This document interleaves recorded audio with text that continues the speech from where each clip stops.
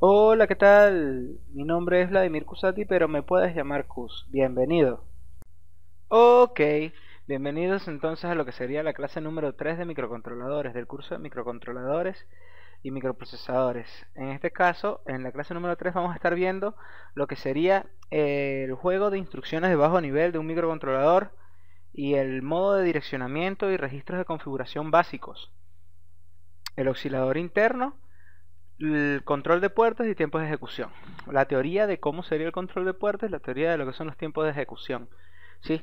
Para estudiar eso más a fondo, simplemente vean cualquiera de los videos de la parte práctica de microcontroladores donde pueden ver control de puertos, tiempos de ejecución y configuración de oscilador interno directamente en programación en, en C o programación en Basic o después creo que estaré subiendo unos videos de programación en Assembly. Bien. Ok, continuamos entonces. Juego de instrucciones de bajo nivel. Esto es la lista de instrucciones que aparece en el datasheet del PIC. ¿sí? Podemos observar tranquilamente acá cómo aparecen ciertas instrucciones de lo que es el assemble como tal del micro. Tenemos instrucciones como ADDWF, ADDWFC, ADDWF, que AND WF, aquí te aparece aproximadamente una breve descripción. Sin embargo, si quieres más información de las instrucciones, tienes que ir a partir de la página 309 puedes comenzar a encontrar información sobre las instrucciones del PIC. Específicamente en la página 315 del datasheet del, microcontrolador vas a encontrar la descripción detallada de cada una de las instrucciones que te interesen. Todas las instrucciones que aparecen acá en esta tabla de instrucciones aparece detallada, descrita cómo funciona y, y reseñada a partir de la página 315. Bien, de todas maneras la puedes buscar, seleccionas la instrucción, la vas a buscar en el, en el datasheet y en el PDF y las buscas directamente. Bien, continuemos acá, tienes instrucciones de suma, de resta, están organizadas por, por distintas funciones, instrucciones que están orientadas a bit, instrucciones de control, esto es muy importante porque en asamblea de microcontroladores no tenemos instrucciones como if, for, while o instrucciones que permiten hacer gestiones de control de alto nivel. Aquí la mayoría de las instrucciones de control son instrucciones de chequea algo y, brinca. Por lo menos acá podemos ver orientadas a un bit. BTFSC, bit test field skip is clear. En otras palabras, chequea un bit de un registro como tal y brinca si está en cero. ¿Sí? Entonces básicamente con eso se hacen las instrucciones de control. Ok, continuemos. Acá tenemos otras instrucciones, instrucciones de operación, de, de operaciones con literales. Hay una instrucción que es buenísima, que se utiliza para casi cualquier cosa, que lo dejamos más arriba. Vamos a regresar para ver si la encontramos. Es una instrucción que se llama MoveFF. Aquí está. Es la instrucción que te permite mover de un registro a un segundo registro. Es una de las instrucciones más utilizadas. La única novedad que tenemos es que no puedes movilizar variables, o sea, no puedes movilizar eh, números hacia un registro. Tiene que ser de un registro específico a otro registro. Es necesario para que esa instrucción funcione.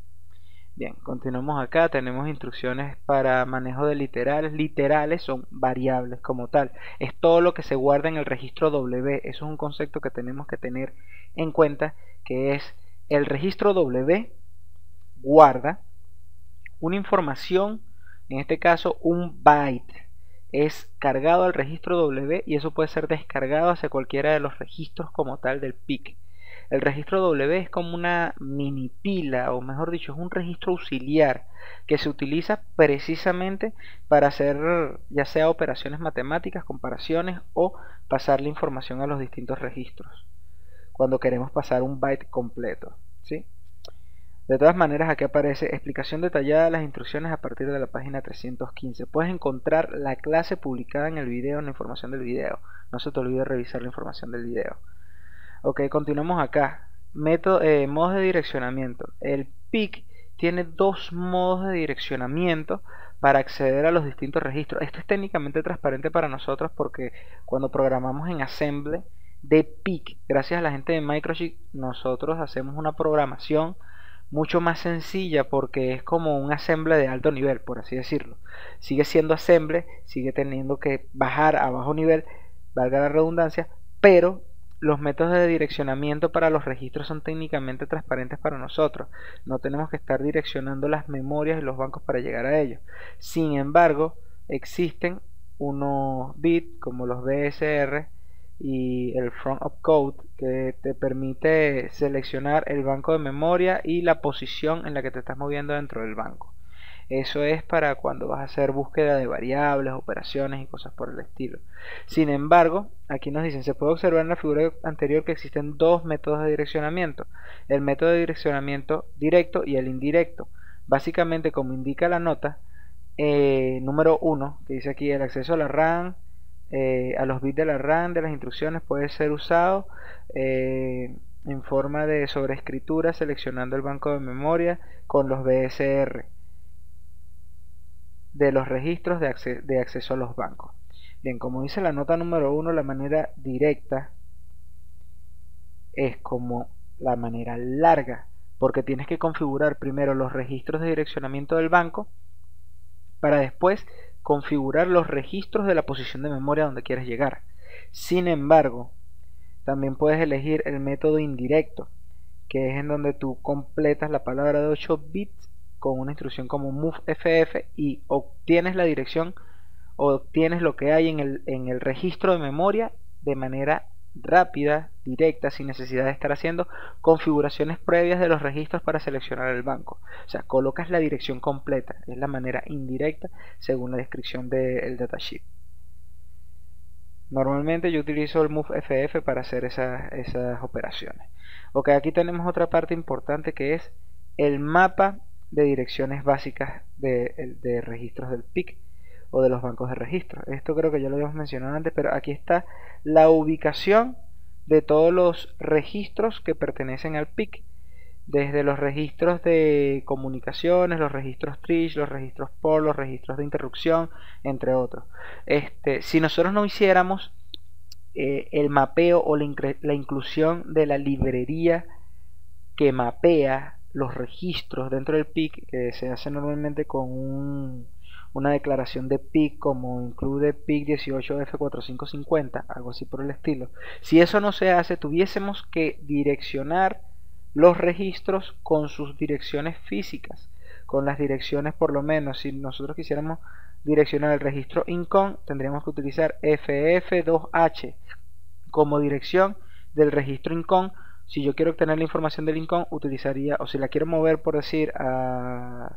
si la quiero modificar, utilizaría algo que lo mueva la información de lo que quiero colocar en INCON en el registro W y después haría un, movimiento del registro W al registro INCON.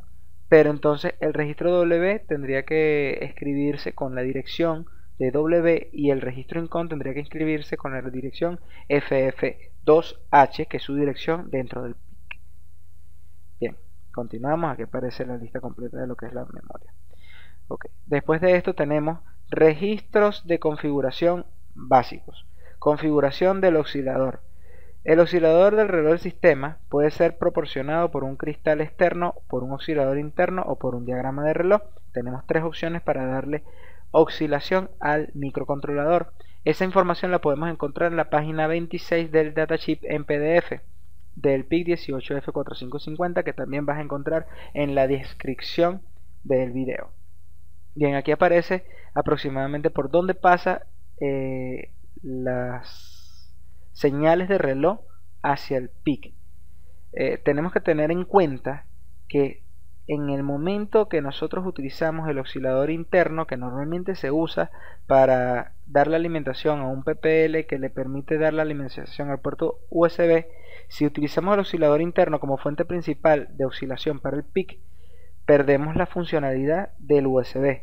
Quiere decir que para poder utilizar el USB tenemos que tener tanto oscilador interno como eh, cristal externo o oscilador de tiempo de reloj activo al menos dos para poder tener USB y funcionamiento del PIC. Sin embargo, en las simulaciones normalmente eso no importa pero en, el hardware, en la vida real, sí importa. Es necesario tener dos fuentes de reloj porque una es dedicada exclusivamente a 4 MHz, tiene que ser configurada para que el PLL la multiplique o la eleve a 96 MHz y de ahí queden los 48 MHz que van hacia el PIC. Ok, en teoría, si nosotros tenemos los 96 MHz, nosotros podemos configurar con una sola fuente de reloj que el PIC trabaje a 48 MHz, la mitad de los, de los 96 MHz como tal.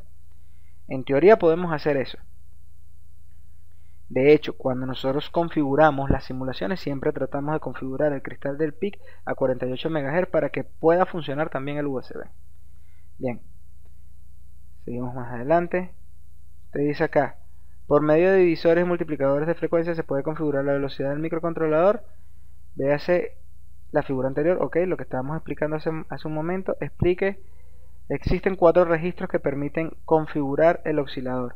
Aquí aparecen los registros con las páginas donde podemos configurarlo, donde son el OSCON, el OPSTUNE. El OSTUNE simplemente es un registro donde tú ajustas el oscilador interno, es como para calibrar el oscilador interno y que esté lo más real posible. No lo vamos a desarrollar como tal acá. El OSCON sí es donde configuramos el oscilador como tal, tanto la velocidad como cuál va a ser la fuente principal del oscilador e incluso llegamos a configurar esto que aparece por aquí abajo que es el idling o el idle enable bit que es simplemente qué va a hacer el PIC cuando se encuentra la instrucción sleep ¿sí? es una instrucción que se supone que lo manda a descansar o lo manda a entrar en modo consumo, eh, bajo consumo de energía bien la configuración G1L y G1H ahorita las vamos a ver para ver qué es lo que hacen Bien, entremos directamente con lo que es el OSCON.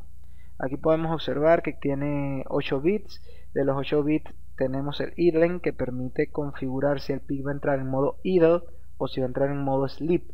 El modo idle permite que funcione eh, los registros, los registros no, los periféricos del PIC se mantienen funcionando aunque el PIC esté dormido y permite que los periféricos despierten al PIC o regresen al PIC de su modo sleep. En otras palabras, estamos hablando de que podemos dejar el PWM funcionando mientras que el PIC se va a dormir el resto. O podemos dejar el PIC esperando una conversión analógico digital muy larga, que no sería la mejor forma, pero una conversión analógico digital muy larga y cuando la conversión termine, que esté lista la conversión, despertar al pic. O aún mejor, podemos dejar el pic esperando a que se desborde un timer y cuando el timer desborde, el pic despierta, atiende la interrupción del timer y vuelve a dormir. Eso permitiría que el pic ahorre energía de una manera significativa. Bien, tenemos acá los IRCF o los Internal Oscillation Frequency Select Bit. Estos son los tres bits que permiten seleccionar a qué velocidad va a funcionar el oscilador interno del PIC, o sea, configuran la velocidad de oscilación. Bien, tenemos otros bits que son, si no me equivoco, solo de lectura, el OSTS, que es la estabilidad, si no me equivoco, y el IOFS, ahorita los vamos a ver, que son dos bits de solo lectura. Vamos a ver para qué sirven. OSTS es el status de timeout, muestra si el oscilador está o sea, si el arranque del oscilador ha expirado o si está corriendo tranquilamente. Y el INTOSC o el IOFS, que es el Intern Oscillation Frequency Stable, indica si la frecuencia del oscilador está estable, o sea, si es congruente conjuntamente en el momento 0 con respecto al momento 1, la cantidad de ciclos de reloj que ha ocurrido eh, sean similares, algo así, o sea, es un comparador o contador de ciclos para definir si el oscilador se está comportando de manera estable. Bien, después de esos bits tenemos el SCS, el SCS1 y el SCS2, que son el Sync Clock Select Bit. Estos bits permiten elegir si la fuente principal de reloj vendrá del, del oscilador primario, del timer 1 o del oscilador interno del PIC. Continuemos acá para ver. Tenemos el Ostune, dijimos que no lo íbamos a desarrollar, simplemente permite ajustar el pic. Tenemos el configuración 1L, config G1L, que permite definir a qué frecuencia va a trabajar o cómo va a trabajar el USB y también permite definir los preescaladores para el funcionamiento del reloj.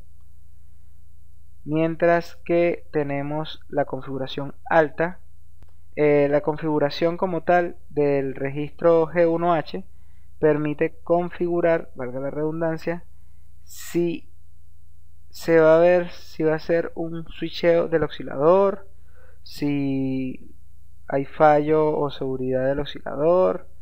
Básicamente acá lo que nos interesa es Oscillation Selection Bit, esto.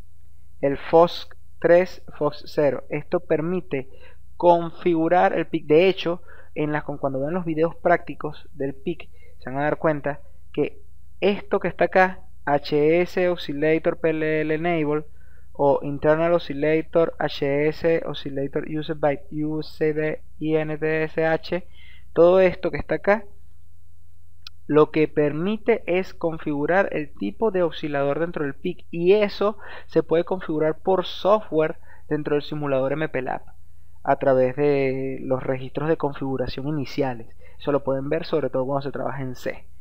Bien seguimos. Tenemos acá el registro estatus, uno de los registros primordiales porque es donde se muestra el estado del PIC. Básicamente tenemos lo que es si ocurre una operación negativa, si ocurre un overflow, si ocurre un overflow es un desbordamiento, si ocurre un cero después de una operación matemática, si ocurre un acarreo o esto es importante, aquí hay un digital carry o borrow, o sea, acarreo o pedir prestado y hay una diferencia entre uno y el otro. La diferencia principal es que el digital carry lo que hace es chequear el nivel menor de las operaciones. Si en una operación hubo una modificación del segundo nivel después de una suma, quiere decir que el digital carry se va a levantar como bandera, mientras que el carry como tal solamente se levantará como bandera si el nivel superior o si el byte como tal se desborda después de la operación matemática, de la comparación o de lo que estemos haciendo. Bien, entonces eso es una herramienta adicional ya que podemos chequear no solamente bytes en comparación, sino que también podemos chequear nibbles. Ah, seguimos más adelante. Tenemos acá control de puertos de entrada y salida. Los puertos de entrada y salida del PIC los tenemos ubicados por puerto A, puerto B, puerto C, puerto D, puerto E, normalmente.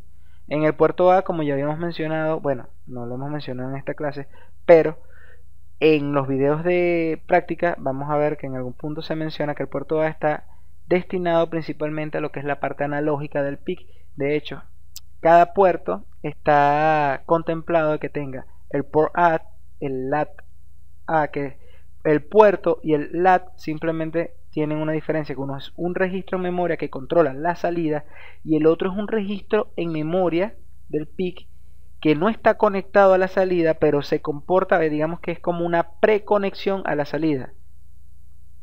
En otras palabras, el port A es el registro que controla la salida del puerto, o sea, que controla qué hay en el puerto mientras que el LAT A está conectado, concatenado e igual al port A, pero él no controla la salida, sino que controla lo que se conecta al port A, por así decirlo. Es como que si uno fuese el seguidor del otro, básicamente.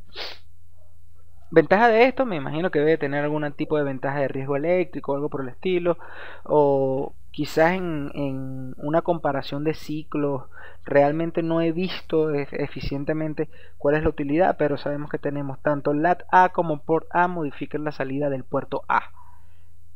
Trish A se utiliza los trish se utilizan para hacer la configuración de los puertos si son entradas o si son salidas. En otras palabras eh, normalmente con un 0 que se parece a una O se establece que ese bit del puerto sería una salida y con un 1 que se parece a una i se establece que ese bit del puerto sería una entrada. En otras palabras, si yo coloco en trish A 00001111 tendríamos 7 no importa, 6 como salida, 5 como salida, 4 como salida. 3 como entrada, 2 como entrada, 1 como entrada, 0 como entrada. Esa sería básicamente la utilización del trish. El ADCON 1. El ADCON 1 afecta al puerto A porque es el que controla cuáles canales son analógicos y cuáles canales son digitales. Entonces, normalmente el ADCON 1 es uno de los registros que vamos a estar configurando siempre que iniciemos un software para definir ya sea todo digital o para definir que hay algunos canales analógicos. Tenemos otros registros como el CMCON, el CDRCON y el UCON que no vamos a desarrollar en estos momentos, pero que los puedes revisar tranquilamente en el datasheet. Aquí aparece todo lo que les acabo de decir de manera en texto. También nos dice que por acá el RA4 se puede utilizar como reloj del timer 0. Hay algunas apariciones, este, algunas características especiales que nos dice sobre el puerto A. Puerto B, uno de los puertos más importantes que no podíamos dejar de, explicar, tiene también un conjunto de registros significativos asociados. Los mismos port A, LAT A, eh, port B, LAT B, Trish B, Incon, Incon 2, Incon 3. Ok, los Incon son los, los registros que controlan las interrupciones. ¿Por qué están asociados al puerto B?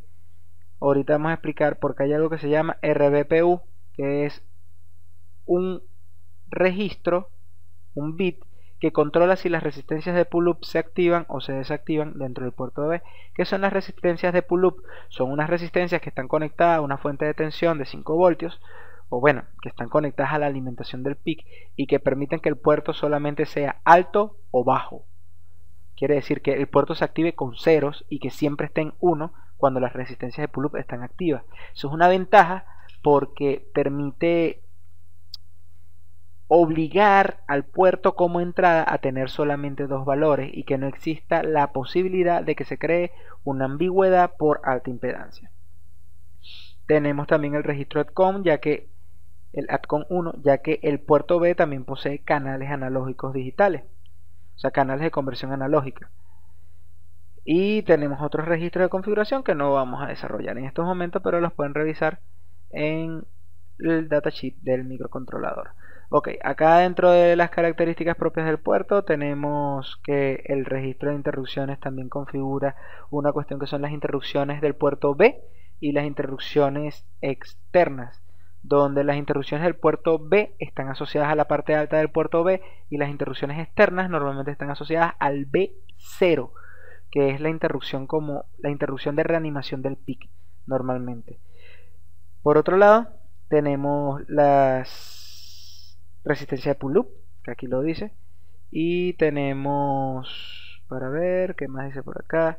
Tenemos que el puerto B, el RB4, se utiliza como el CSPP cuando se activa la fusión de Parallel Port, que es para cuando estamos utilizando el PIC conectado como un puerto paralelo. Nunca he investigado sobre lo que es utilizar el PIC como puerto paralelo, pero es una de las funcionalidades que tiene. Los otros puertos los puedes investigar a partir de la página 119 del datasheet del microcontrolador. Seguimos. Tiempo de ejecución. ¿Qué es el tiempo de ejecución? El tiempo de ejecución se puede definir como dos conceptos. Uno, lo que son los ciclos de reloj y el otro, lo que es ciclo de oscilador. Ok, ¿qué diferencia hay? Por ejemplo, OSC1 de la gráfica simplemente es las oscilaciones del reloj. Bien, mientras que el ciclo de instrucción es lo que cuenta como un ciclo para que el PIC ejecute una instrucción. En la mayoría de los PIC que he estudiado, el ciclo de instrucción siempre depende de cuatro oscilaciones de lo que es el ciclo de reloj, o sea, de lo que es el ciclo del cristal. Veas acá que tenemos Q1 como la oscilación 1, Q2 como la oscilación 2, Q3 como la oscilación 3 y Q4 como una oscilación 4. Y sin embargo, aquí están los pulsos que manda Q1, Q2, Q3, Q4. Y eso establece que sea la secuencia suficiente para que se genere un ciclo de instrucción. Bien, esto es lo que el PIC entiende para ejecutar cada instrucción del point counter, del apuntador de, instrucciones, del instruction pointer, si no me equivoco, dentro de su tabla de código e instrucciones.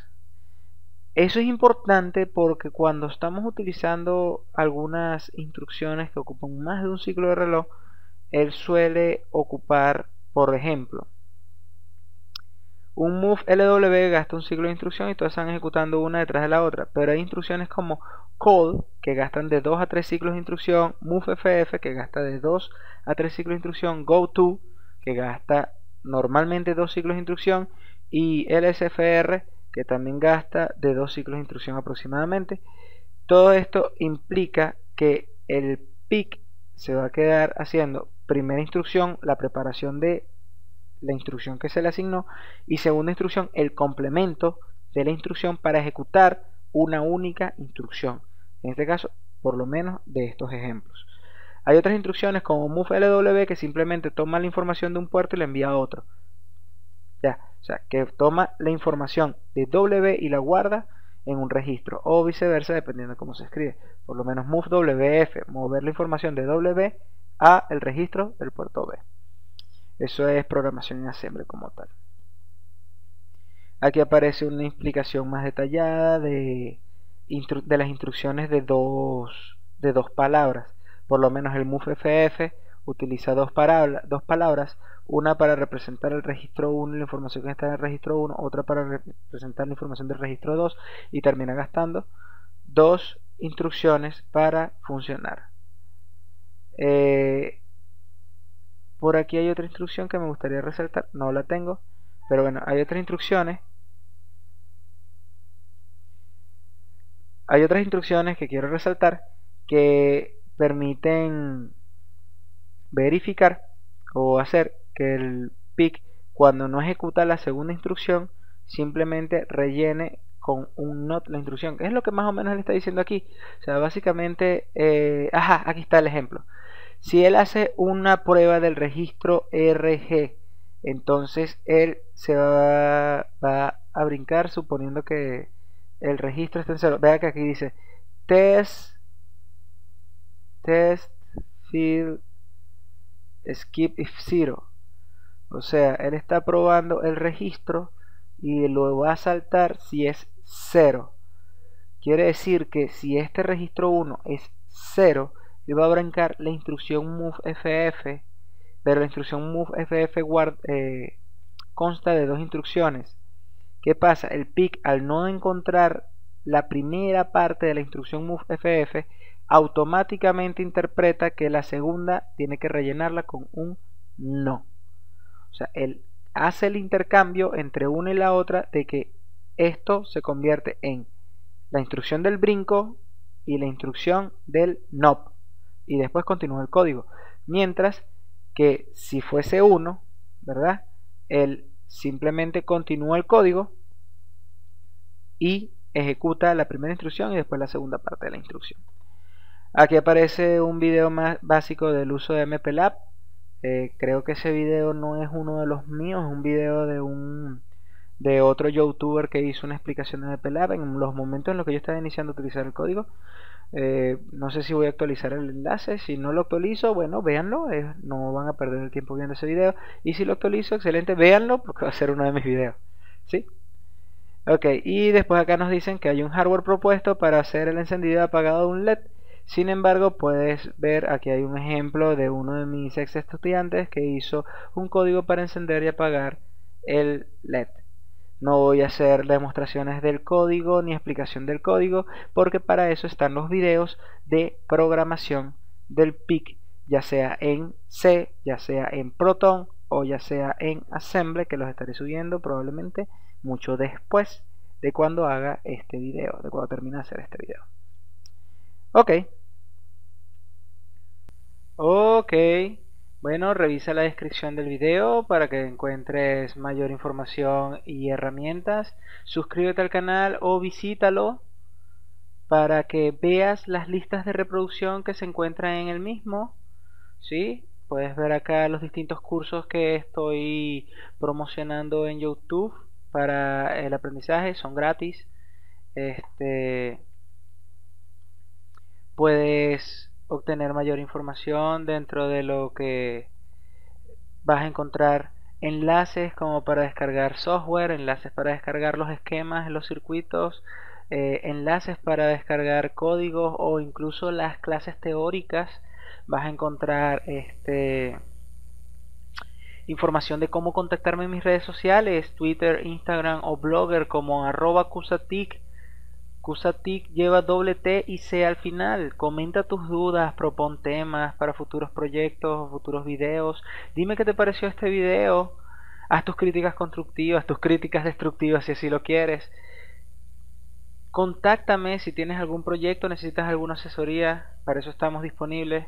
Haz clic en me gusta, sabemos que te gusta. ¿Sí? Aquí, darle me gusta a este video y así tranquilamente vas a poder demostrar y apoyar una buena causa. Así que dale clic en me gusta, vamos, sabemos que te gusta. Gracias por ver el video y espero que hayas encontrado y aprendido lo que buscabas compártelo ya que esto es para todos. Chao.